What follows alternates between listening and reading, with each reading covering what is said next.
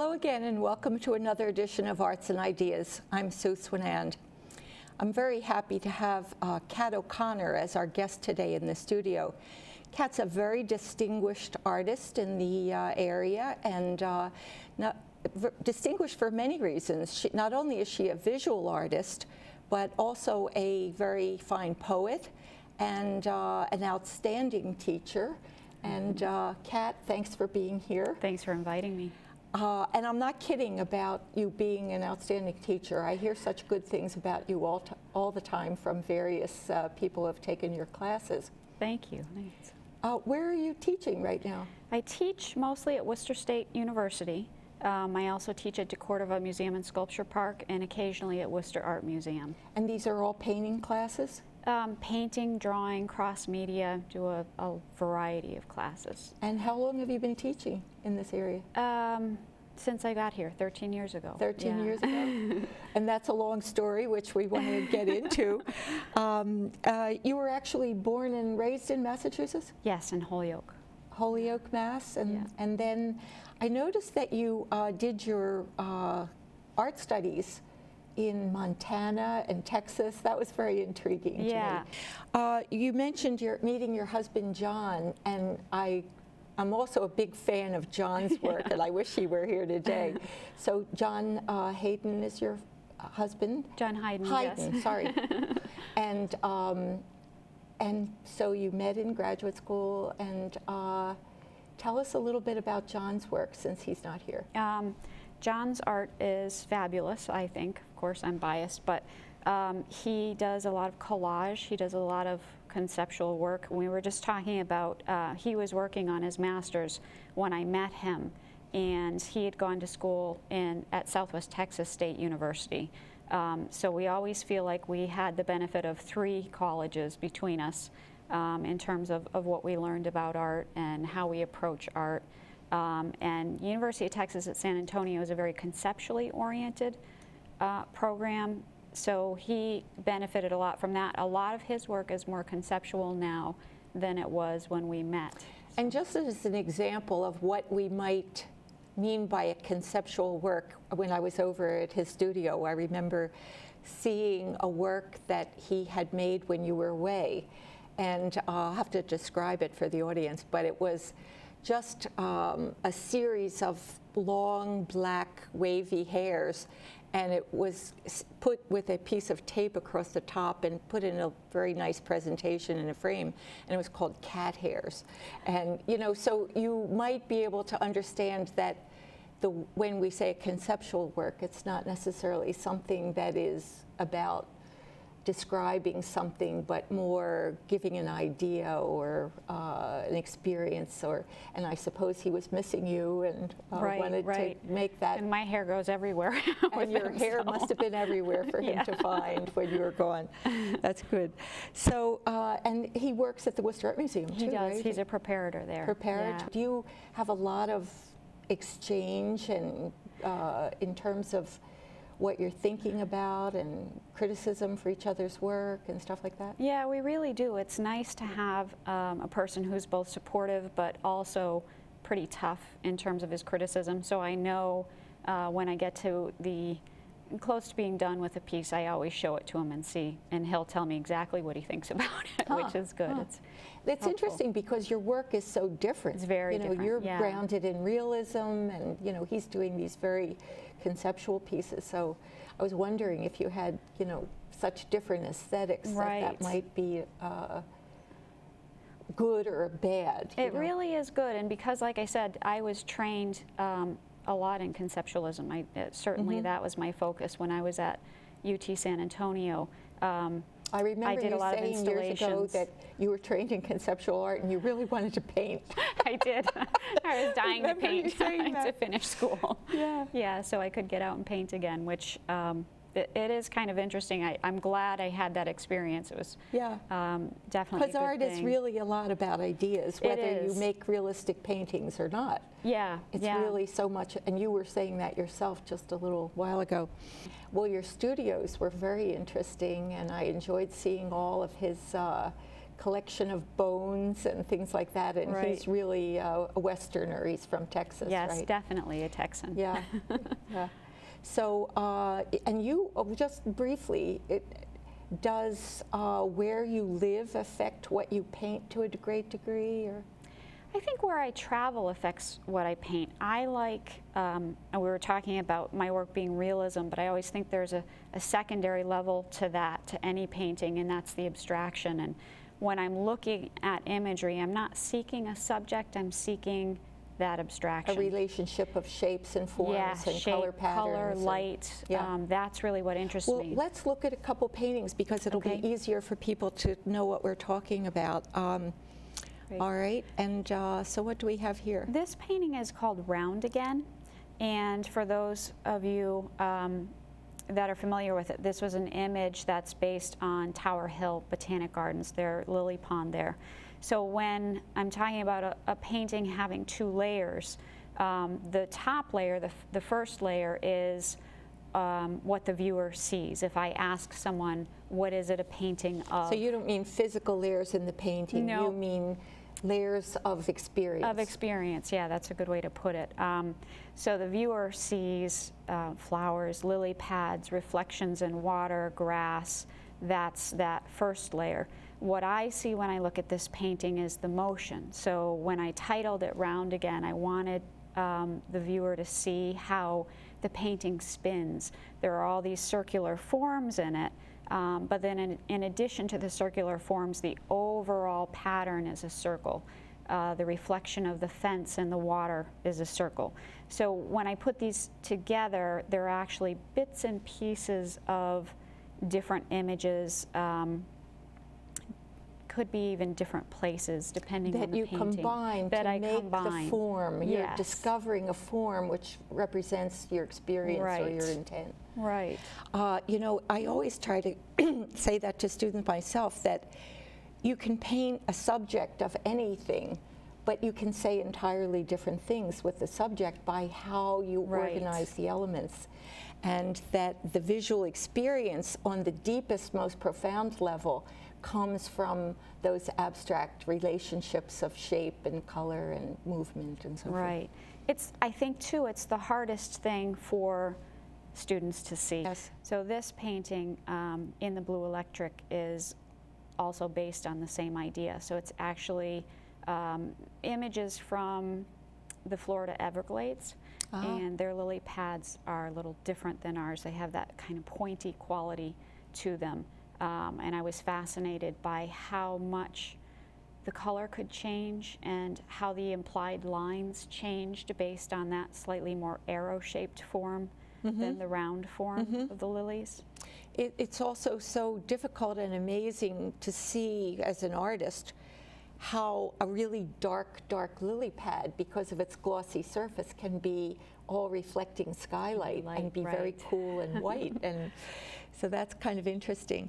I also like the way they seem to be floating in space, almost like they're in the sky. So there's almost a double interpretation that they're in the water or that they're in the sky. Right. Or, uh, And I think the viewer in a painting like this is, is allowed to see that a little bit more. It isn't literal, um, so you have to look at it in a slightly different way, um, which I think as artists we do manipulate the viewer. We try to um, tell them what we're working towards. Mm-hmm. Um, so this painting not being quite grounded uh, gave me the opportunity to do that. Yeah, it really, to me, it's not grounded at all because you feel you're in the sky almost. You know, the sky is so, so uh, obvi- really deep space is what it looks like. it's amazing. Uh, very interesting. Um, this painting, Tamiami Spin, is also from the Everglades, um, and it has that very dramatic dark line on the left. Yes. And that was, it's actually um, was based on reflections of the walkways that they have going over the waters. There's alligators in these So little boardwalks. Yeah, the, the boardwalks. Um, and I was fascinated with the idea of breaking up the space with that very um, architectural, sharp element, um, but keeping it in the context of the dark water and the reflection. I love the juxtaposition of that geometric shape on the left. See, the other is just sort of flowing and all doing this, you know, whereas this one, that's such. Uh, such a surprise, you know, such a, an anchor. And it really creates a very interesting composition, which is kind of like an L, you know, with the bar and the crossbar. Uh, and then the little box of sky, you know, it's a little box of sky. Right. Interesting. I like also the rhythm of the lily pads. Uh, the, you know, our audience might want to notice the way you organize the cool tones of the leaves or the the red, the redder uh, colors of the small uh, round shapes, and how you move the eye through the painting. You know how your eye sort of connects like things and jumps from place to place. Right, and that circle is repeating here too again. I like the circular pattern. Um, you can follow it through the reds, you can follow it through the greens, um, but then they're anchored by that vertical line. Mm-hmm. Very true.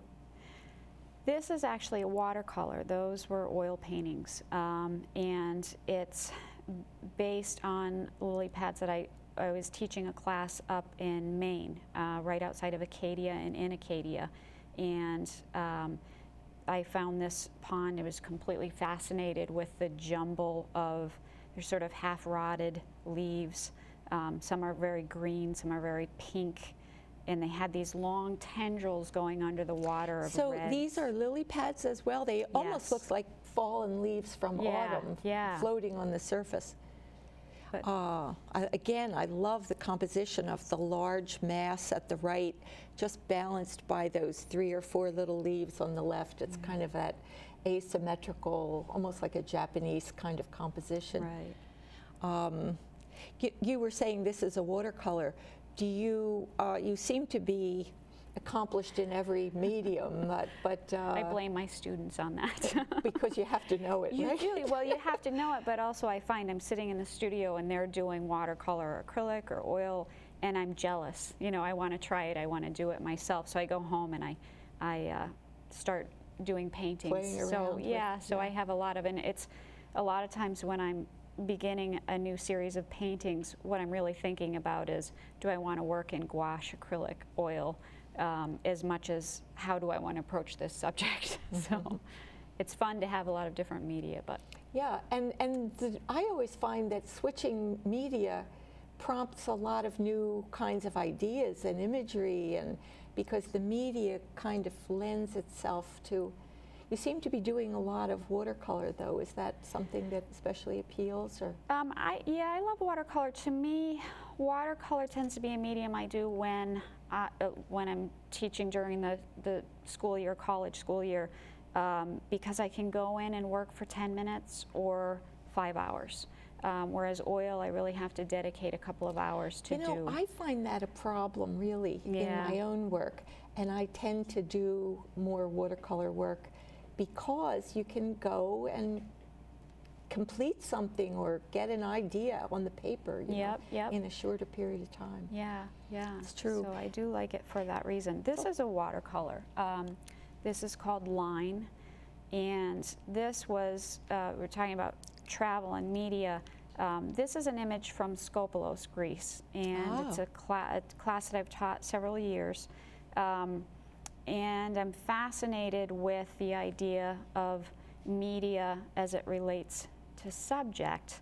Um, what I find is that when I teach in Greece, I've taught in Italy, those are definitely watercolor locales. Because of the light. because of the light, yeah. And then I teach in New Mexico, and gouache is what I really love. Really? Yeah, yeah. Because of the Um, sand and I stone? think because of the yeah, because of the immensity of it, the Huh. the, the landscape and the, is and so the physical. heaviness of it. Yes. Maybe, yeah. Yeah, and you're looking at these orange cliffs, but they have purples and yellows and greens. Um, so I just find the gouache with the layer, the ability to layer, works a little bit um, better for that Yeah. scene. And but it wouldn't instead be of good in something Italy. transparent, like the waters and skies, and instead of something transparent and luminous in the desert, you're looking for something sort of clay and opaque yes. and yeah. and solid, Heavier almost, solid yeah, and heavier. yeah. Good, good point. Yeah. Um, well, this painting is the same idea. This is an oil also, um, and that's Moore State Park, if you're familiar with that, out in Holden. Um, Holden or Paxton? Paxton. Um, and this is a watercolor, green and gold. See how luminous and translucent that is? It just has a shimmer like a stained glass window feeling, you know.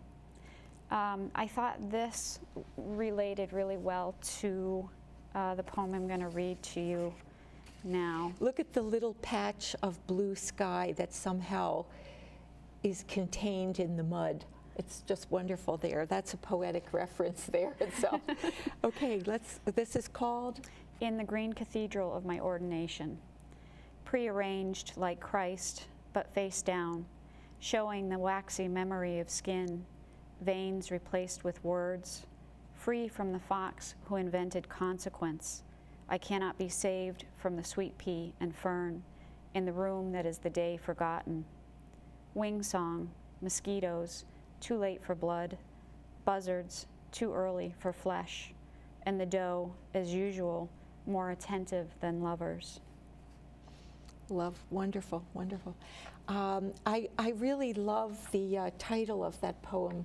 What is it again? In the green cathedral of my ordination. I couldn't help thinking um, how nature. My my dad always used to say, "This is my cathedral." You know, if we walked in the woods, he said, "This is my cathedral," because of the, you know. Right. And it, it is a really spiritual experience, and you seem to get a lot of your inspiration from nature and even animals. I and- do, yeah, yeah. Um, and I think when you're looking at a painting like this um, and reading a poem like this, it isn't a literal, uh, it isn't a narrative, it isn't about that place, it's about that type of emotion, um, that type of feeling. And of course, when you're talking about poetry or painting, they can both come from the same place, but they give us different ways of thinking about it.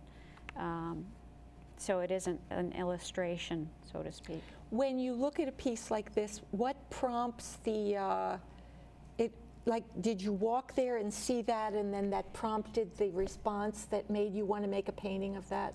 Yes, it was Mm-hmm. literally that feeling of being going through deep woods. This was um, an area in Maine that had some marshy, almost bog-like qualities Mm-hmm. to it, but it was in heavy pine. So you're walking along, and all of a sudden you're you're in this opening that is sunlit. There's a little bit of water there. There's wonderful growth, all different types of textures. So it's the experience of nature, but also when you look at this particular formation of leaves, it's the formal design of these leaves and the way they stand out against the mud and stuff like that. yes, That it and makes the, you quality of want the light, and yeah.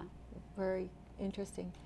Uh, I also like this one because it doesn't it doesn't seem to have an anchor to me. Mm-hmm. Sometimes the viewer can hang on to it's a painting of a boat, it's a painting of a bird, um, but this is just stuff. Yeah, Um, and I yeah. always think the best painting And it's painting what we're of made of. It's what we're made of. It comes, it goes, it deteriorates, it regenerates. Right. Okay, let's see another.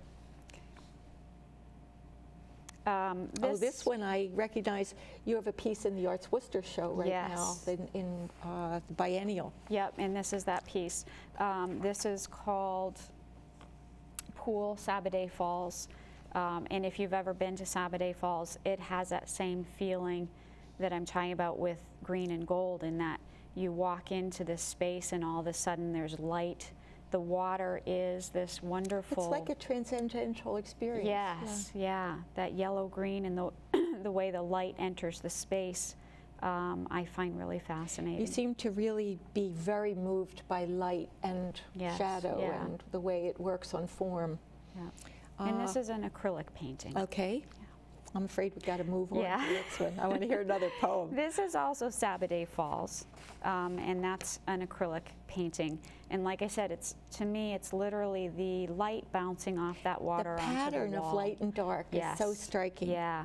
Um, and this one actually started as a watercolor. So a lot of times I do a watercolor underpainting and Oh. then I do acrylic on top of that because I find that, like we talked about, the, the watercolor has the ability to maintain a, a crispness and a translucency in the lights, whereas acrylic goes very cold in the lights um, without a, a, lot of Mm-hmm, control. So this is a combination of both. Okay, let's go. And I want to hear this one. Okay, too. so this is Ferry Street Mill, East Hampton. Very different subject matter um, on the surface, but also about the abstraction. But I grew up in Holyoke around a lot of these mills and, and, and fabulous buildings that are abandoned, basically. Um, and the thought of, oh, you know, I always think, oh, that would make a great studio, um, those big windows. So this is a, a poem once again, it's not an illustration, but it's along the same theme, and it's called Mill.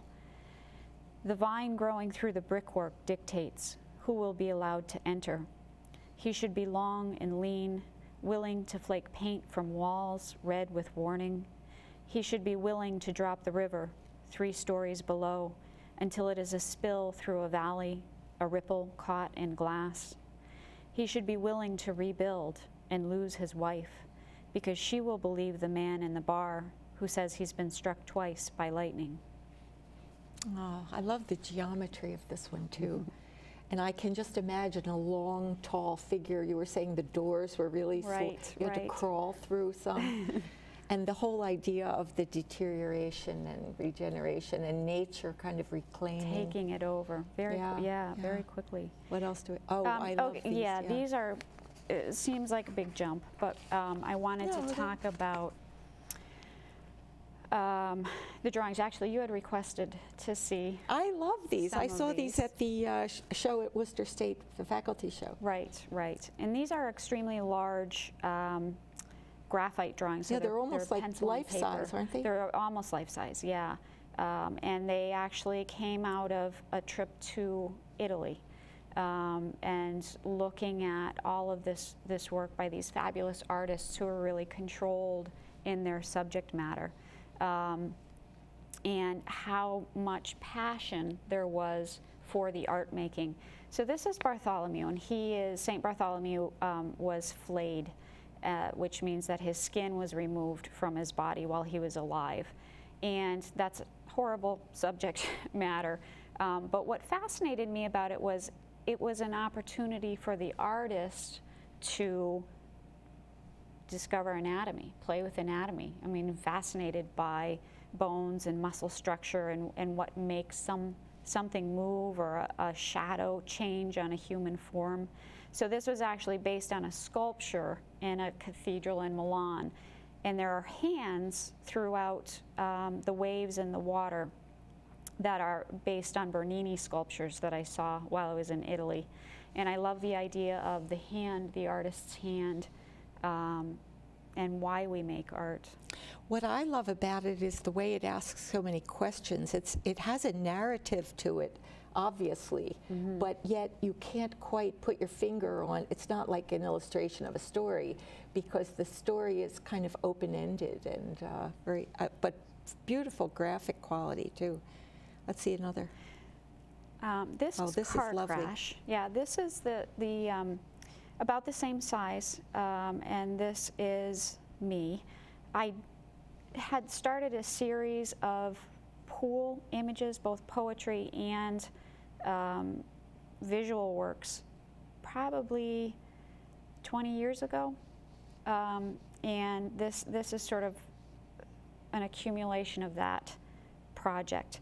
So I'm going to read Marfa Mystery Lights, and that Okay. kind Uh, by the way, I love this image. To me, it's just so full of mystery and Okay, Marfa Mystery Lights. You set up the telescope in dry grasses and Russian sage, everything tan and brown, but the sky shifting in oil blue colors to dusk. We are skeptics our first night in the desert, having stopped in Hondo to remove a kitten from the center of the highway. Three men bet from plastic chairs, dead in the east lane, the west lane, dead on the yellow line. I left the kitten on a porch and rang the doorbell as I walked away. Telescoping tripod legs, knobs, and the bend of your back in orange twilight. More things die in the desert. I find a tiny jawbone, a dry sheath of transparent skin holding a skeletal hand. In the dust by your feet, I assemble a beast, mostly vertebrae, the perfect hand, angel wings of armadillo scales, white and square as teeth. You look at Venus, then readjust for Earth. We are looking for the lights that appear from nowhere, belong to no one. They are there. They rise from the desert floor, move along, and disappear. I see a woman speaking to a dead child, green vapor soft and gently moving. I see a fox carrying a lantern and a man who is lost. Later, I lie wet on the concrete apron of the pool, blue water the only light in the desert. Bats skim the surface to drink, wings brushing my skin and echoing sounds I cannot hear, the things I will never tell you, the secrets I will never tell myself. Next night, we return to the lights without your telescope, sit together eating the sweet leather of tamarinds. Well, we could talk about this one for half an hour, but unfortunately, we're almost out of time. Could we see the last couple ones Yes. and then? Uh, So all of these come out of that idea of the pool at night, and, and that started in the desert in Marfa. Um, oh, that's so nice. And that's a painting I finished three days ago. So you're doing a lot on the pool and uh, and those Yes. lights in, in where was that in Texas? Texas, yeah, Marfa That is must have been Texas. quite an experience. It's and, uh, amazing. it's an amazing kind place. of a yeah. mirage kind of thing. Yeah, Wonderful. yeah. Well, you know, I, I hate to stop, but uh, we are out of time. And uh, I want to thank you very much for coming today and sharing your work with us. And uh, I really appreciate Thank you, it. Sue. and I want to ask the audience too, you know, realize how many wonderful artists we have in the area and how many cultural events are happening. The Poetry Society, ha- the Worcester County Poetry Society has uh, lots of readings. And so come on out and uh, take advantage of some of the cultural experiences that we have in our area. And uh, thanks for joining us, and we'll see you again next time for another edition of Arts and Ideas.